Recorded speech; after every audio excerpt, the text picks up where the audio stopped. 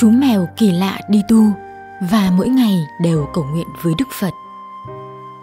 Không ai có thể ngờ rằng chú mèo này lại một lòng hướng Phật và sống cuộc sống như một nhà sư. Mỗi khi nghe tiếng chuông, nó sẽ chạy vào thiền đường đúng giờ và bắt đầu ngồi trên chiếu, hai chân nhỏ đặt ngay ngắn nghiêm trang trước mặt. Chú mèo Phật tử lúc nào cũng sẽ chăm chú nhìn vào tượng Phật như đang cầu nguyện. Có khi nó còn nhắm mắt lại, giữ yên một tư thế rất lâu, không nhúc nhích như thể đang thiền định. Điều đáng kinh ngạc hơn là nó không bao giờ ăn cá thịt, mà chỉ ăn đồ chay như một Phật tử chân chính. Tất cả những người trong thành phố đến chùa đều ngạc nhiên khi thấy một nhà sư mèo xuất hiện ở đây. Biểu hiện và hành động của nó làm cho mọi người đều nghĩ rằng chú mèo này là một vị tu sĩ lỗi lạc ở kiếp trước. Không giống với những tôn giáo khác, Phật giáo khẳng định tất cả chúng sanh đều có Phật tánh, tất cả đều có thể thành Phật, bởi thế giới này tạo ra không chỉ để cho riêng con người được thụ hưởng lợi ích. Theo quy luật nhân quả, tùy theo nghiệp đã tạo mà con người có thể tái sinh thành động vật và ngược lại. Động vật cũng có thể tu hành tích nhiều phước báu để kiếp sau được làm người. Và chú mèo này cũng là một mắt xích trong quy luật tái sinh. Vị trụ trì tại một ngôi chùa ở Hàn Quốc đã kể cho mọi người nghe về nguồn gốc, sự xuất hiện của chú mèo trong ngôi chùa này. Cách đây 4 năm, ông tìm thấy một con mèo đang run rẩy trong Phật đường. Khi đó, nó đang bị bỏng nặng với hơi thở thoi thóp. Vì động lòng thương xót nên ông quyết định đưa nó về nuôi và đặt pháp danh cho nó là giải thoát. Vị trụ trì còn dạy cho chú mèo ba giới luật trong chùa. Đó là không được làm ồn, không được ăn thịt và không được sát sinh. Vốn dĩ ông chỉ vô tình dặn dò, nhưng không ngờ chú mèo giải thoát dường như có linh tính hiểu được lời ông nói. Từ đó về sau, nó thật sự không bao giờ vi phạm các điều răn dạy của chủ trì. Một số người vì không tin, muốn kiểm tra xem giải thoát có thực sự không ăn thịt như lời các nhà sư nói hay không, nên đã đặt chân gà và cá trước mặt nó. Mèo vốn là loài động vật ăn thịt, thậm chí trong môi trường hoang dã, bản năng săn mồi của chúng sẽ càng thể hiện rõ ràng hơn. Hơn nữa, đây đều là thức ăn loại ngon, ngay cả những người bên cạnh khi nhìn thấy cũng không ngăn được cảm giác thèm thuồng. Nhưng giải thoát vẫn không hề lay động. Khi các sư phụ đưa thức ăn tới gần miệng, nó sẽ lập tức quay đầu sang chỗ khác.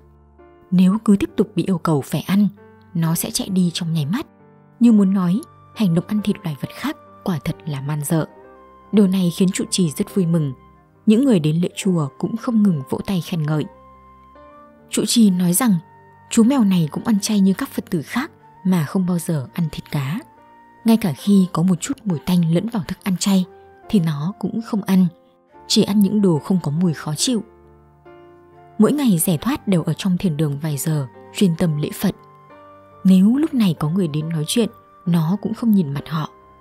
Chỉ lặng lẽ vẫy đuôi như muốn thông báo rằng mình đang tập trung tu hành, không muốn người khác quấy rầy. Mãi khi đến giờ ăn tối, trụ trì đến phòng thiền gọi nó thì nó mới miễn cưỡng rời đi. Mỗi khi chùa bắt đầu tụng kinh, mèo giải thoát cũng nghe theo lời dạy của trụ trì rằng phải giữ im lặng. Vì thế, nó không hề kêu lên tiếng nào mà nằm im phủ phục trên tấm nệm, hai chân trước đặt ngay ngắn trước mặt, cúi đầu trước tượng Phật trông giống như đang bái lạy Phật tổ. Món ưa thích nhất của nó chính là canh miso. Mỗi khi được vị trụ trì cho ăn, mắt nó đều long lanh, thậm chí là dưới nước mắt, khiến ông cũng không thể hiểu được hiện tượng kỳ lạ này. Có thể chú mèo giải thoát đang cảm động dưới nước mắt trước ơn cứu mạng của trụ trì. Cũng có thể vì nó đã thực sự tu được tấm lòng đại từ bi. Nhiều người cũng đặt ra câu hỏi rằng liệu động vật có thể hiểu được Phật Pháp hay không? Tất nhiên, vì chúng không có cấu trúc não bộ như con người nên không thể suy nghĩ, hiểu biết giống như con người.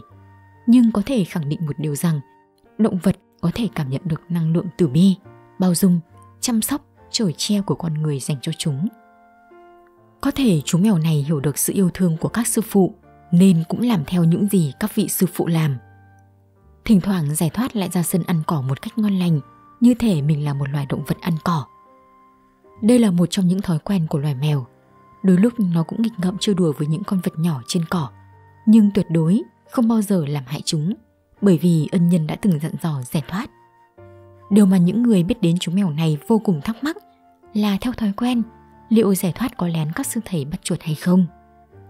Có một lần người trong chùa nghe thấy tiếng kêu meo meo, đi tới gần thì thấy nó đang giữ một con chuột bằng cả hai chân.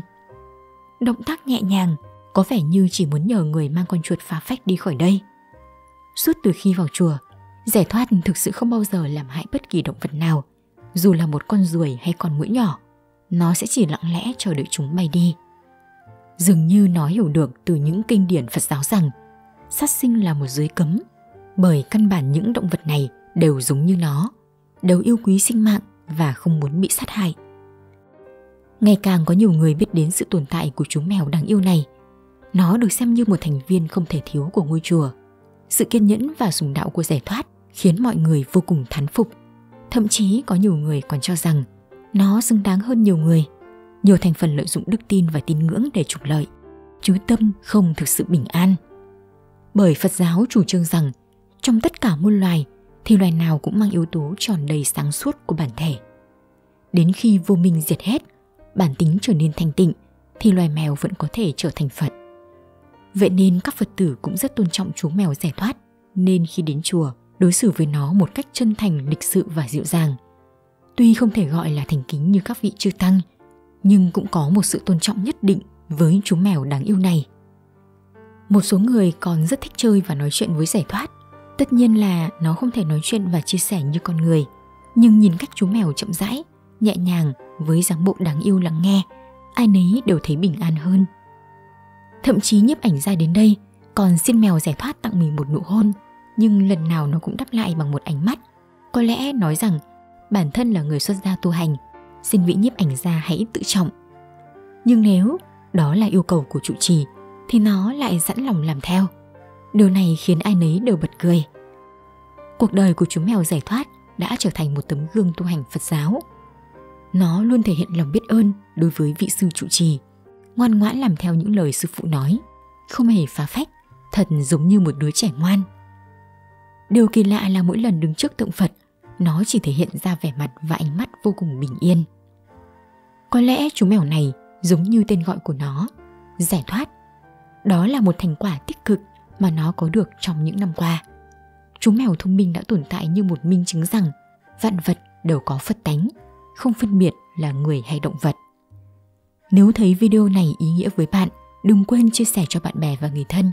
Cảm ơn mọi người đã quan tâm theo dõi. Chúc bình an đến tất cả các bạn.